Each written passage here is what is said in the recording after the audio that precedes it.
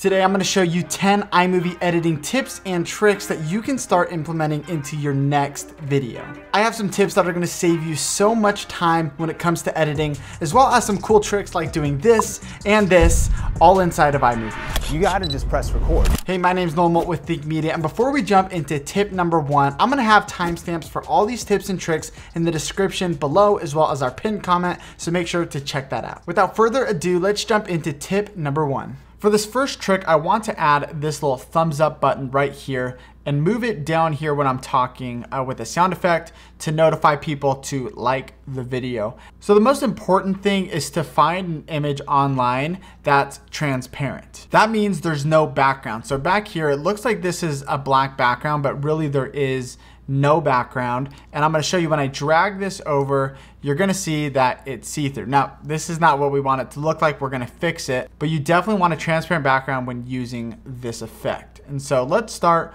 by placing it where we want. So I want it to start right here. Actually, to edit inside last a few seconds, and then have it go away right there. So it's three seconds long, and I'm gonna zoom in on this by dragging this this way. Now that we're closer up, let's adjust some of these settings so that it looks good. First of all, the crop is weird. It's like cropped in way too close. So we're gonna go into cropping and instead of Ken Burns, we wanna go to fit. Because we have a, uh, a square picture, if we go to crop to fill, you're gonna see that you can't fit the entire thing in there. So we're gonna go to fit and that is going to give us the correct cropping. And then the next thing we need to do is go up here and go to picture in picture. Now you're gonna see it's a lot smaller and that nothing is cropped and we're able to, if we select this, move it around and put it wherever we want.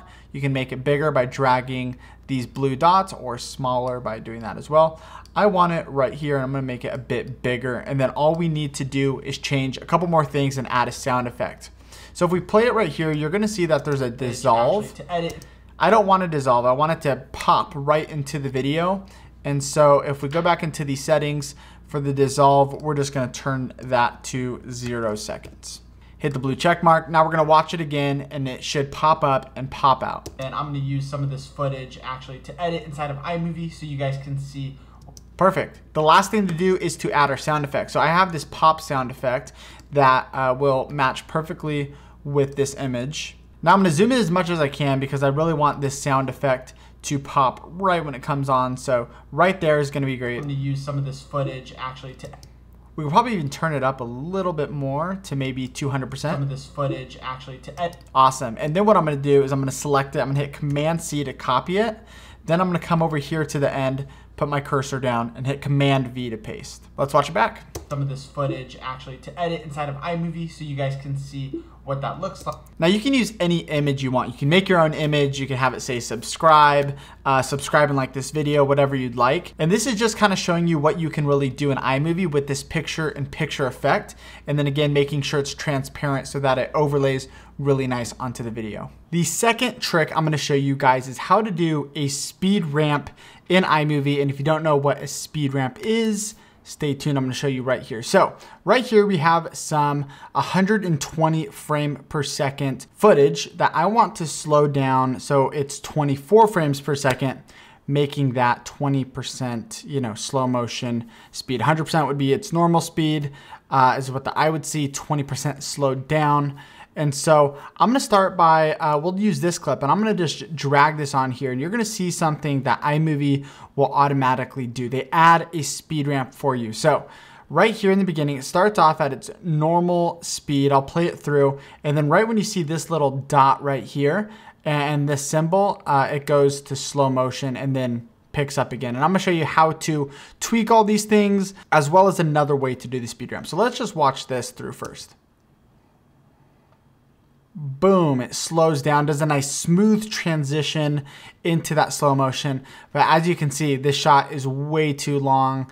Um, and so I kind of want to change it up. So what I'm going to do is you can grab either one of these. You can grab this top one or you can grab this bottom one and I'm gonna show you what both do. So this top one is actually gonna change the speed. And so I don't wanna touch that yet. I will get to it in a second.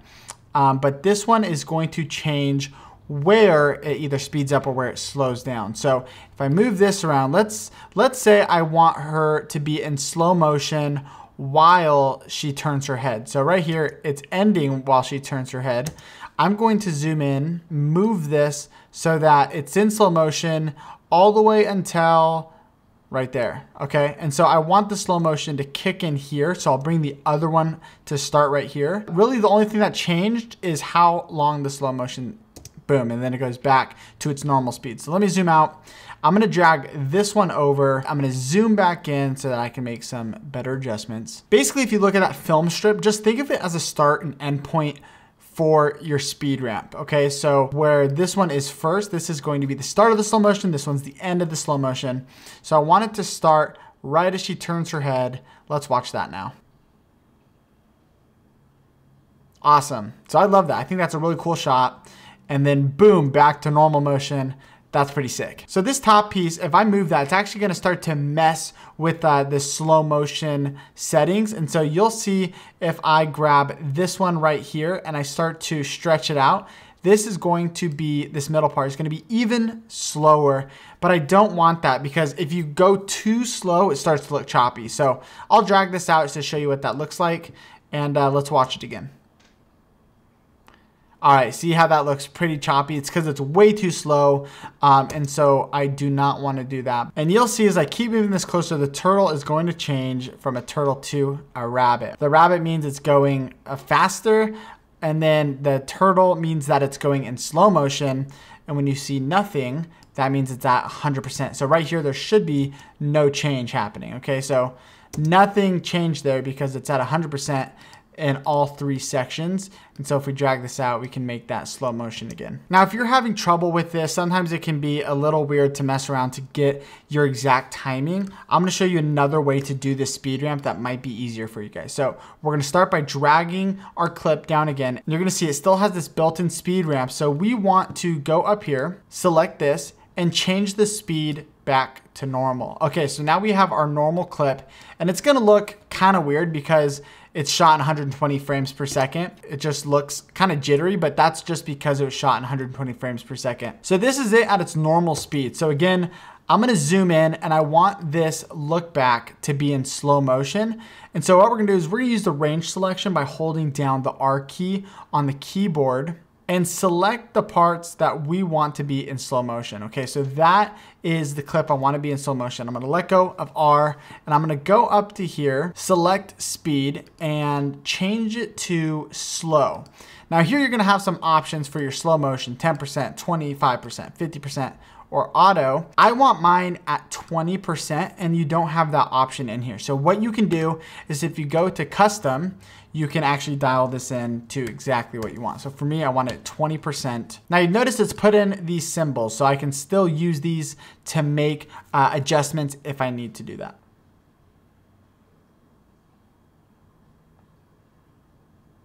Perfect. So this slow motion part is at 20%, which is exactly what I wanted. And then boom, it goes back to 100% right here. And again, what's nice is I can change this. Let's say if I wanted to start right here, I can just drag that over and boom, it's done. Simple as that. That's how you do a speed ramp. So those are some pretty cool editing hacks inside of iMovie, but stick to the end of the video where I'm gonna show you some of the best export settings for exporting your video in iMovie, as well as some shortcuts that are gonna save you so much time and save your life when it comes to editing. Tip number three is using green screen in iMovie. So I'm gonna show you how you can use a green screen explosion like this, or you can even use a subscribe button like this and overlay it on top of your video. So I'm gonna show you how to do that right now. You wanna start with your base layer. And for me, I'm using this shot of me running down this alleyway. So I have this clip of me running down the alleyway. I want to add in an explosion right as I leave the frame. So first, we're gonna find what part of this green screen do I wanna use. Then you're just gonna drop it right on top of your footage. And to get rid of the green background, you wanna click on this right here and change it to green, blue screen, and it's already gonna do a pretty good job for you. And then in here, you have some options to change this. I think it looks best probably if I turn the softness all the way to the right. And then it's done a pretty good job with cleaning everything up. Uh, so we're basically set. Now what I need to do now is just set up the right timing for the explosion. So if we watch it through right now, I kind of get blasted right in the explosion. So I'm gonna just drag this to the right. And it's really as simple as that in iMovie. You can just drag it to the right and I'll drag it even a little bit more. So right here is maybe when I want this uh, explosion to happen. Okay. So here is what it looks like with the correct timing of the green screen. Awesome. Now, utilizing green screen footage is a great way to have fun in iMovie. You can find a lot of free green screen footage on YouTube and then do a converter. And that's what I did for this. Obviously, this isn't like the best uh, explosion. You know, it's not the most realistic, but it's uh, it's a fun way to practice using green screen and to express your creativity inside of iMovie. A more realistic way of you guys using this green screen footage could be by using uh, one of these things right here, a subscribe button if you wanna add that to your YouTube video. It's really easy uh, when you're using a green screen in iMovie. So let's take a look at this.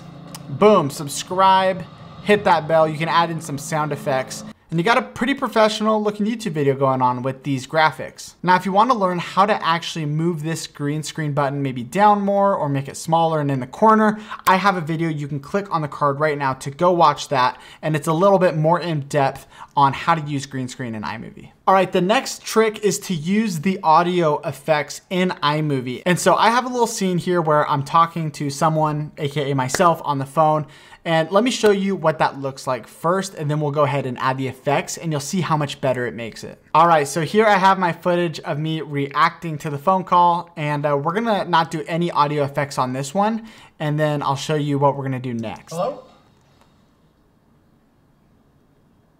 Ooh, my bad. All right, now I want to add uh, the phone caller, which was myself in this instance, and I'm just going to grab this and drag it underneath and it's automatically gonna turn it into an audio file. So when I let go, it's placed on the timeline. Now I just need to line it up perfectly with the video. All right, so let's watch this through and then I'm gonna show you how much better it sounds when I add a little audio effect. Hello? Hey, I'm just calling because, um, well, well, you forgot to hit the like button on the video. Ooh, my bad.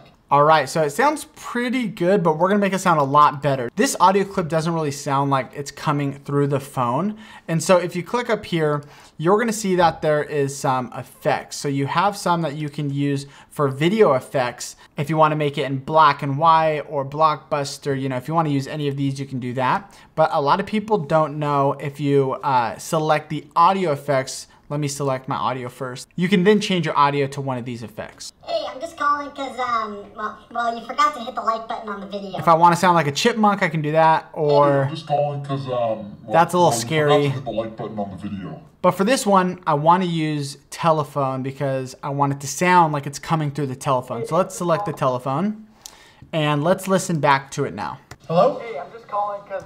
First things first, I'm gonna turn it up because I feel like the effect kind of made it quieter. So I'm gonna turn that up to about 250% and we'll take a listen now. Hello? Hey, I'm just calling because, um, well, well, you forgot to hit the like button on the video. Ooh, my bad. So that sounds way better. It sounds a lot more realistic, like it's actually coming through the phone, but really it was just an audio effect on this audio. Tip number five is a really cool effect that I use all the time when editing. It's called a J-cut or it could be an L cut depending on when you use this effect. Let's watch these two clips and see what it looks like before a J cut. Cheers. All right, now I'm gonna add a little J cut and you wanna start by detaching the audio. So if you right click, you can hit detach audio. Now what I wanna do is I wanna have the audio actually come in on the previous clip before this footage is even shown. So I can drag the audio like this. Cheers. But now you notice the audio's off. So I need to trim this end until those two right ends align, just like that. Cheers. But also this audio right here is kind of ruining the shot. So I'm gonna hold down R and I'm going to mute that audio by pulling that down. And that is how you can get rid of that audio. So let's hear what it sounds like now. Cheers.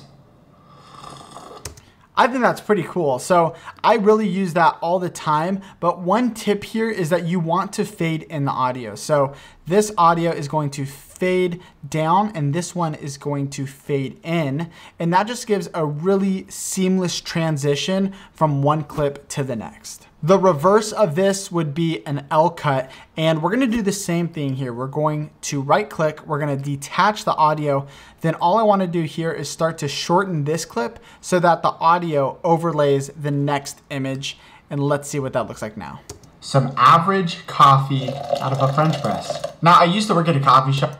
One last little power tip and trick that kind of goes into what we're doing here by detaching audio is really making clips seamlessly come together. And so if we right click and we detach the audio on both of these, I'm gonna show you what it sounds like before we do this trick. You're gonna notice it's a little rough when it cuts because the other one is louder. So the audio gets louder. It's just kind of a harsh cut. And so here's something that I do a lot is I extend both of these audio clips. And then like I talked about, I just fade in and fade out each of the clips. And this helps the cut to go a lot smoother. I would probably bring this audio down. We can even extend this one and then all the audio just kind of seamlessly goes into the next clip. So let's listen one more time. That sounds awesome. Just by detaching that audio, extending it out, and just fading them in and out of each other is gonna make your cuts way more smoother. All right, this next trick is a pretty cool one. I'm gonna show you how to clone yourself inside of iMovie. First, let me give you some tips on the footage that you're gonna need to make this happen. First off, your camera cannot move at all when filming this, and you wanna be in complete manual mode. So manual focus, uh, you don't want auto white balance. You want to put it on daylight or whatever fits your scene. And then all your other settings, do not touch them. I don't even press the stop button because any little tiny movement of the camera will ruin the shot. So I recommend doing what I did here, doing it in one clip and then hitting stop at the very end. And then if you can, you wanna use some sort of studio lights. I used a window and you're gonna notice that the lighting kind of subtly shifted and that kind of ruins the shot too. And so there's a way to kind of fix it that I'll show you, but the best way to do it is under uh, LED lights or some sort of softbox or whatever lights that you have. Use those instead of like outdoor lighting uh, because that can also ruin your shot. So we're gonna start by dragging down my first performance of me on the right side of the screen. So this is the beginning of my second clip. This is where I want it to start. So I'm gonna hit I and you're gonna see that is gonna be my beginning point and then I'm gonna play it through and figure out where I want it to stop. I mean, come on. If you if you like cameras, if you like YouTube, just subscribe to Think Media. You should. That's where I want it to end. So then I'm gonna hit O and that is uh, my selection that I want. Before dragging this on top of this footage, what you wanna do is you wanna go to the crop, but you wanna make sure this is selected. So that's selected. Then you're gonna wanna hit crop.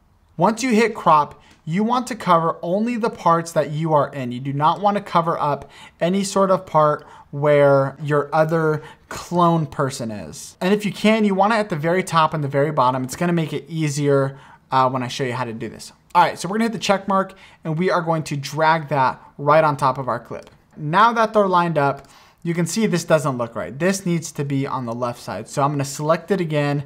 And this time we're gonna go over here and we're gonna go to picture in picture. It automatically makes it really small, but we can scale it back up. So it's going to kind of snap to the grid. So as it snaps to the top, snaps to the left, we're then just gonna take this bottom right-hand corner and drag it out to the bottom of the screen. We're then gonna hit the check mark and you're gonna see it's not perfect because there was a little bit of a cloud that came over. This shot is a little bit darker than this one. It's not the end of the world though. How you would fix that is you'd go to this and you wanna just change your highlights, your midtones, shadows, and adjust all those so that it looks um, as clean as it can. So as I adjust this a bit brighter, I knew it was darker. So as I adjust this brighter, this line right here is starting to go away because these shots are now starting to look closer uh, together. And it's still not perfect. We can still see a little bit of a line right here. So I'm going to drag this one and, and bring it up a little bit higher And it really just takes some fine tuning uh, when you are fixing this kind of stuff, but you can get them pretty close. Like right now, I don't really see a line there and this is starting to look really good. So this is looking pretty good, but if we go to the very beginning, I kind of I mean, do a ghost effect there, which I don't want to have happen. So I'm gonna click on the picture and picture and then go to zero because I do not wanna have any sort of dissolve. Now, let's watch this and uh, see how it looks. I mean, come on. If you if you like cameras, if you like YouTube, just subscribe to Think Media. Okay. There you go. You have a clone effect right inside of iMovie. Who knew iMovie is better than After Effects? If you're enjoying this video so far, give this video a thumbs up and comment down below and let me know how long have you been using iMovie for. With this next tip, it's very similar to our first tip with a picture-in-picture -picture effect, but using it in a different way. So here I have another transparent image. I'm gonna drag that over my clip in the sky and you can see it's a planet and I'm just going to do exactly what I did in the first tip, making it go to fit and then going to picture in picture. Now I just want to kind of frame it into my shot and we're starting to get sort of a sci-fi looking shot here. We're gonna change the dissolve to zero. And now we got almost like a sci-fi looking scene here because we have uh, a planet up here in the sky. And so using picture in picture doesn't have just to be for subscribe and like buttons. You can do some kind of cool effects like a moon or a planet like this. And so you can get creative with it. If you wanna go even more in depth, uh, you can do some keyframing with your picture in picture. So I went to our backgrounds and I used this educational still image. And here on top, I have a transparent plane. So I am going to fit the plane and then make it a picture in picture and get rid of the dissolve. So here I have a plane, but it's just sitting still. I want it to fly across the map. And how you do that is by using keyframes. So if we go back to our video overlay settings, you're gonna see this little button right here. That is for our keyframes. And so we want the plane to go from North America all the way over to Africa. So we're gonna set our first keyframe right here because we want the plane to be right here. And then I'm gonna hit play. And right there is where I want it to land on Africa.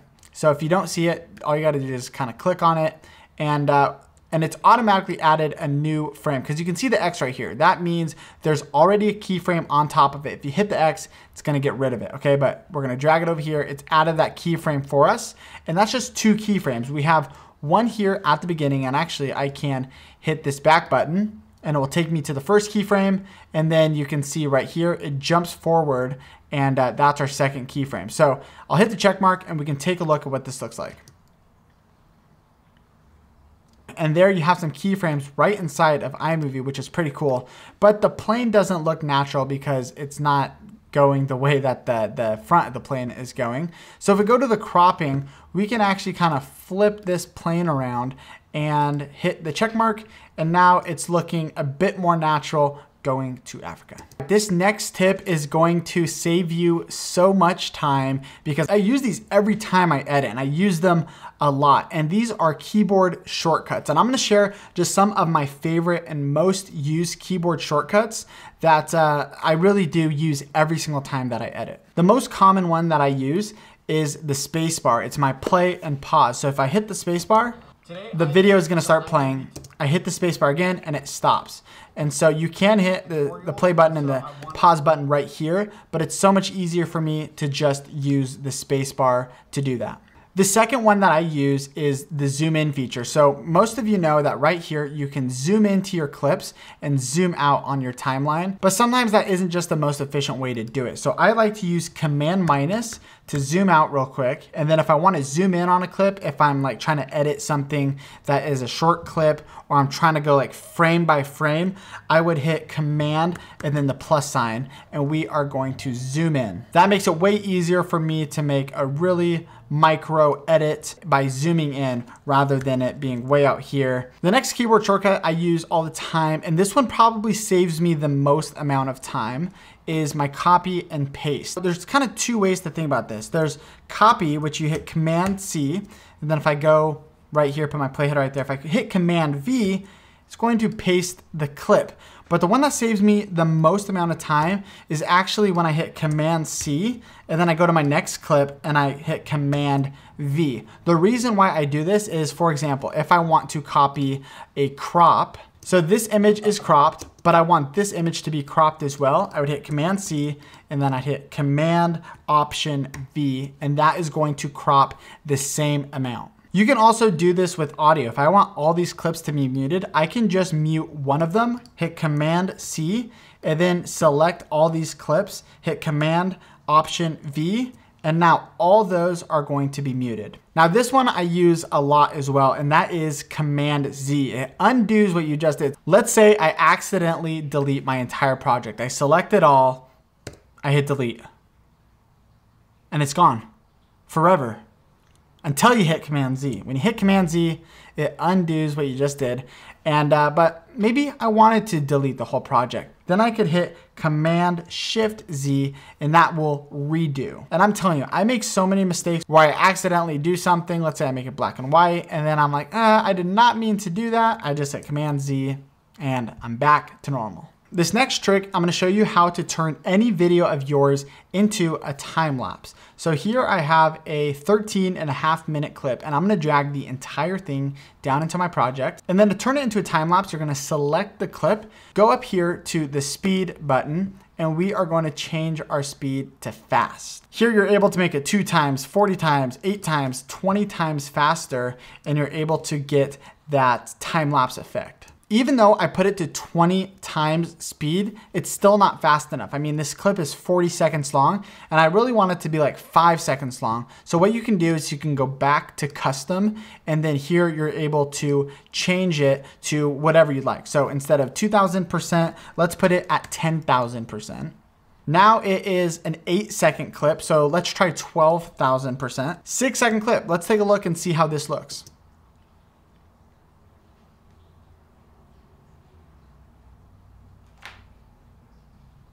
Awesome. So I think that looks super good. And you can definitely use this if you're shooting the sky or cars coming by, whatever kind of time lapse you want to do.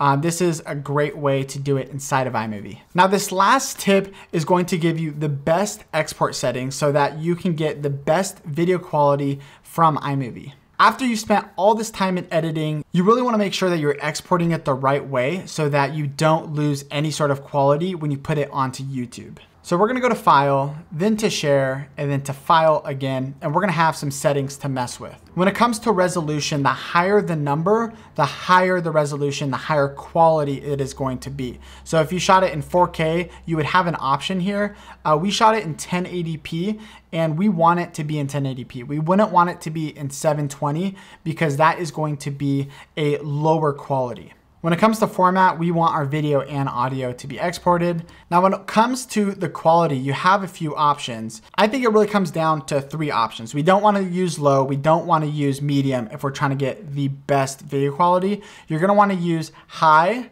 best or custom and I've done tests on all three of these and and in my opinion the best quality you're gonna get is using best ProRes but there is a catch. And it's actually not the best one for YouTube, and I'll tell you why. First, let's take a look at high. This clip right here is gonna be 17 megabytes, and if I change it to ProRes, it's 101 megabytes. Now that's a lot more storage. And so if you don't have a lot of storage on your iPad, your laptop, your, your iMac, then you do not want to use ProRes. You would wanna use high or you'd want to use custom.